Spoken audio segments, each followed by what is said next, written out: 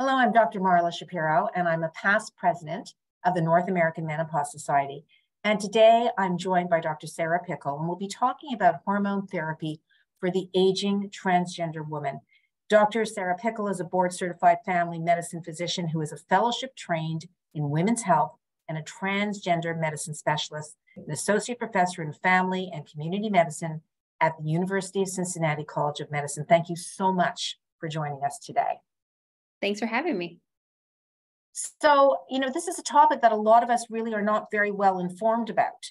Um, so I'm really hoping that you can help us sort some of this through. So first, let's look at the, the benefits first, at looking at continuing gender affirming hormones in transgender persons who are using estrogens. And then what do we do as we're approaching midlife and beyond? It's complex, isn't it? Yeah.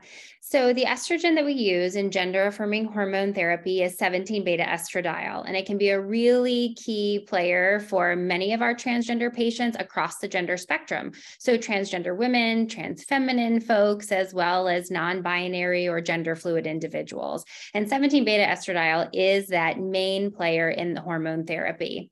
The studies of estrogen use in trans women in midlife and beyond show a much higher quality of life score when people are using gender affirming hormones than age matched peers who aren't using gender affirming hormones.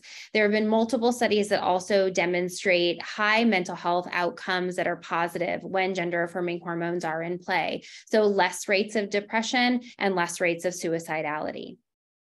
So that's that's critical. That's something that we don't think about the mental health benefits. We think about hormones and the impact on the physicality perhaps, but not on mental health. So I think that's key for us to be thinking about um, certainly in, as you're approaching midlife and beyond.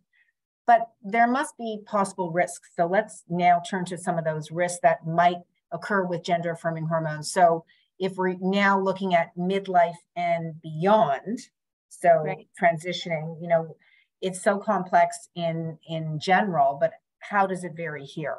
Yeah, so you know, we care about cardiovascular risks in all people who are aging. And that's, I think, one of the key things that comes into play. Things like stroke, myocardial infarction, as well as venous thromboembolism risk. Um, in contemporary studies of transgender folks who are using 17 beta estradiol, the cardiovascular risk is much lower than some previous studies that used conjugated estrogen or mm-hmm. ethinyl estradiol. Those were the main estrogens that were used in gender affirming care until about right. 2000. So, in the last 20 years, we have much better studies that demonstrate that the risk of cardiovascular outcomes is much lower than previously thought. We also have to consider the risk of not providing hormone therapy and how living a life that feels non aligned or living a life where higher discrimination or stigma can also affect the allostatic load that a body experiences and how those mental and physical outcomes outcomes can together put together to be higher cardiovascular risk. Now, there are ways we can mitigate that risk. And that's really important when we're thinking again for all of our patients in midlife and beyond, but certainly our trans patients who are on gender affirming hormones. We want to think about those things that are modifiable. So, thinking about cardiovascular risk reduction through smoking cessation, controlling blood pressure and blood sugar. Again, these are whole person approaches to health that we'll mm-hmm. use in our cisgender and our transgender patients. So when we're looking at um, using ethinyl estradiol, uh, does the dosing begin to change as we're approaching midlife and then what we would consider menopausal transition? So when we're going to use 17 beta estradiol, we have a few different ways to get 17 beta estradiol into the body. So we can do injections, we can do tablets, or we can do patches. And in trans literature, what we have found is that the transdermal approach using patches is safer from the cardiovascular mm-hmm. perspective, especially when it comes to venous thromboembolism reduction. We see the same data from our cis women who are going through menopause and we're utilizing hormone therapy to treat their symptoms. So, when we can, in patients who are 45 and older, or those who have other cardiovascular risk factors, or maybe who have a personal history of blood clot or a um, underlying health condition that could put them at higher risk, we'll use the transdermal patch when we can. And then we're also thinking about those other ways we can modify risk. How can we help people become non-smokers? How can we also think about ways that we can help people move and use nutrition to obtain their best health? And probably most importantly, thinking about mental health and mm-hmm. thinking about sometimes how our systems in play can cause discrimination and stigma, and how even with gender affirming hormone therapy, um, our transgender patients move through the world stigmatized, and that affects their health. It affects their physical health outcomes, their mental health outcomes. And so part of our role as clinicians is to think about the interplay of hormone therapy, but also to think about the interplay of how those societal structures can also impact health. And certainly being able to live a life that feels authentic and aligned. An important part for many is hormone therapy that can improve health outcomes as well. So when we're thinking about clinicians and, and the recommendations, what should they be looking at in terms of caring for transgender persons who are using estrogen? What's on that list of things that we just cannot ignore? So, we want to think about those underlying metabolic factors. So, thinking about if somebody has had cardiovascular disease, diabetes, or blood pressure. Oftentimes, those are things that we are going to want to treat in parallel as we're thinking about offering gender affirming hormone therapy. Um, many people have found that as they start their gender journeys, they feel much more embodied and empowered to take care of their vessel, to actually mm-hmm. be engaged partners in their care. So, we're going to be thinking about those things. We want to take a really good family history, again, like we would do for all of our patients, understand what somebody's underlying cancer risk is, especially breast cancer. You know, what we know from our literature is that as people develop breasts and as they age, breast cancer risk goes up. Right. For trans women, the breast cancer risk is slightly higher than the risk of cisgender men but much lower than cisgender women. But we do want to think about the length of time our patients have been on hormone therapy and offering them breast cancer screening with modalities like mammogram and sometimes ultrasound and MRI.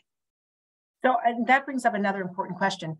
The age, in terms of when along the continuum of chronological age, yeah. um, you might be going through the recognition that you you want to be transgendered or or where you are in your journey yeah. of self-recognition and feeling as you say your authentic self so how will that influence if someone is later in chronological years and doing this because we yeah. think about women in general and the risk of cardiovascular disease as we age and yeah. the timing hypothesis of safety of estrogen right. this is very complex in this population it is and we know from studies that um, 20% of patients will start their gender journey above age 40. So right. there are many folks who are recognizing that their authentic sense of self that will require partnering with a clinician to have hormone therapy um, may come in their fourth decade of life and beyond.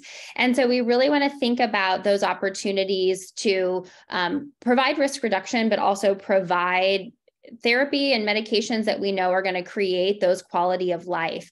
Now in the studies looking at, you know, how do we help people achieve hormone therapy as as they age and and what do we do? We have some recommendations set forth by the Endocrine Society as well as the World Professional Association of Transgender Health that give us some target 17 beta estradiol levels that we might um, be shooting for in those first few years of gender affirming hormone therapy. So, just like puberty doesn't happen overnight, gender journeys don't happen overnight. The body takes three to five years for some of those physical changes to happen. So, many times those conversations can be ones that after three to five years of hormone therapy in a 50 or 60 year old patient, when they've had that maximized physical outcome, we might look and say, let's look at your health overall. Let's look about new risk factors that maybe have popped up since we started hormone therapy is it time to lower the dose to allow changes to be stable, yet uh, you know risk minimized? Mm-hmm. Does it make sense to keep the current dose? Or might there be a point at somebody's gender journey when we would say, gender affirming hormones have served you beautifully. They've served you very well. And now you have these physical changes. How might you feel about lowering or coming off estrogen altogether? But in our current recommendations, there is no absolute age cutoff for which gender affirming hormone therapy has to be stopped. It really is an individual decision that a patient and their clinician will make. And that, you know, that's really interesting because as we talk about in menopause in general, we talk about the fact that unlike years before where people had this idea of an artificial stop date, there right. is no upper limit of safety and it really has to be individualized. And I think the, yes. what I hear you saying is the concept of individualization is true across the spectrum of all patients that Absolutely. we're taking care of, transgender or otherwise.